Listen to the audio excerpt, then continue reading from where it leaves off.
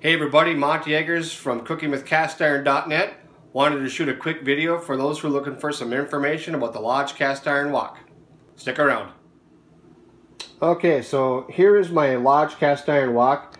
This is an older style that Lodge had uh, for quite some time. As you can see, it's got the um, elongated uh, handle on one side, and it's got the helper handle on the other. It's uh, 13 and a half inches uh, both ways and it's approximately three and a half inches deep and it can hold a lot of food. I have a family of six and it works uh, no problem on my uh, electric range for those who might be looking for some information about that. Um, they stopped this style uh, quite uh, some time ago and they came up with a different uh, style that had the helper handle on both sides. And they stopped productivity of that, I guess, but within the last two to three months of the recording of this video, they started um, making the uh, making this style cast iron wok again. Not this style exactly, but one with the both uh, helper handles on both sides. Um, this here um, works great. Um, I neglected it for a while. I had given this uh, wok to my mother for Christmas one year back in the late 80s.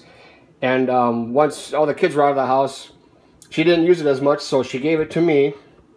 And um, I used it and it just works fantastic. Uh, it holds a lot of food. I can fit about three quarters of a bag of uh, the frozen style stir fry from Sam's Club in here with my meat, no problem. Um, I have a family of six. It's great. Um, I love the thing.